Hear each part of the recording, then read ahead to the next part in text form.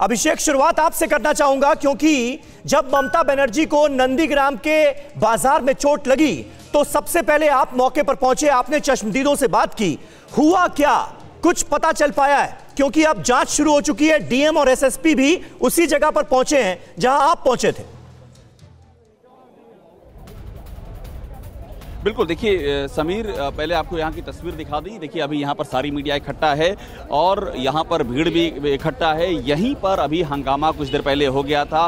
पुल अधिकारियों की मौजूदगी में हंगामा हो गया था। बीजेपी और टीएमसी के समर्थक एक दूसरे से भिड़ गए थे और ये देखिए, यहाँ पर पुलिस तैनात है। आपको यहाँ पर, ये पर दोनों और डिप्लॉयमेंट देखेगा और मैं आपको पुलर ये ये जो रास्ता है, इसी रास्ते से इसी रास्ते से ममता बनर्जी का कॉन्वे आ रहा था, जो यहाँ चश्नीदों ने हमको बताया।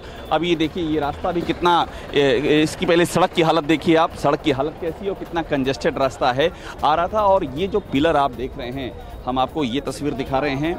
ये इस पिलर जो चश्मीदों ने बताया, उनके मुताबिक यहीं पर वो दरवाज़ा खुला हुआ था। ममता बनर्जी थोड़ा सा किनारे की ओर निकल करके लोगों को ग्रीट कर रही थी हम्म। और काफ़ी भीड़ थी और उसी में वो जो कार का दरवाज़ा है वो इस पिलर से टकराया और उससे उनको चोट आई और ये देखिए जो मिठाई की दुकान आपको मैं दिखा रहा हूँ यहीं से उनके लिए बर्फ़ लाई गई इस मिठाई की दुकान के के, के जो चलाने वाले हैं उन माहिती मिशान भंडार नाम है उन्होंने भी हमको ऑन रिकॉर्ड कहा कि उनके यहाँ से बर्फ़ गई और बर्फ़ पुलिस वाले लेकर के गए।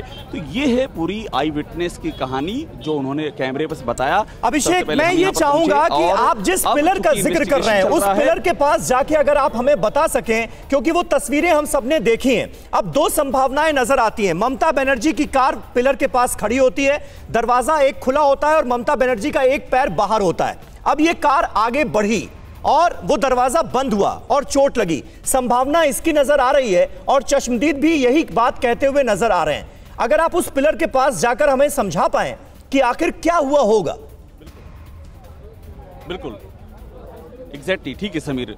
आप जो कह रहे हैं वही वही करने की कोशिश करता हूँ। मैं ये पिलर आपको दिखा रहा हूँ फिर से एक बार। हम्म। चेतन जरा आइएगा और आप यूँ समझ लीजिए कि इधर से गाड़ी उनकी आ रही थी जो चश्मीदों ने बताया हम वो बात दोहरा रहे हैं। बिल्कुल। आ, गाड़ी इधर से आ रही थी और उसका जो है दरवाज़ा है वो खुला हुआ था। ममता बनर्जी उस पर थोड़ा सा बाहर की ओर निकली हुई थी। बड़ी भीड़ थी यहाँ पर और ऐसे गाड़ी आ रही थी और उसकी स्पीड स्लो थी लेकिन गाड़ी आगे बढ़ रही थी। हम्म। और उसी बीच में चश्मीदों मुताबिक ये जो पिलर आप देख रहे हैं इसी पिलर से वो उनका जो जो दरवाज़ा था वो टकराया और चूँकि ममता बनर्जी बाहर की ओर निकली हुई थी तो उसके नाते सीधा वो जो झटका लगा है और जो दरवाजे की ठोकर है वो उनको लगी उनको काफ़ी चोटें आई और उसके बाद ये जो आप देख रहे हैं मिठाई की दुकान यहीं से बर्फ़ लेकर के गए इस मिठाई की दुकान के जो मालिक है उसने हमको बताया और पुलिस वाले खुद लेकर के आए बर्फ़ और उसके बाद ममता बनर्जी का तात्कालिक एक इलाज यहाँ पर किया गया और और उसके बाद करीब पाँच मिनट इस सब में लगा पाँच मिनट का टाइम बता रहे हैं और उसके बाद फिर यहाँ से गई तो ये जिस पिलर की आप बात कर रहे थे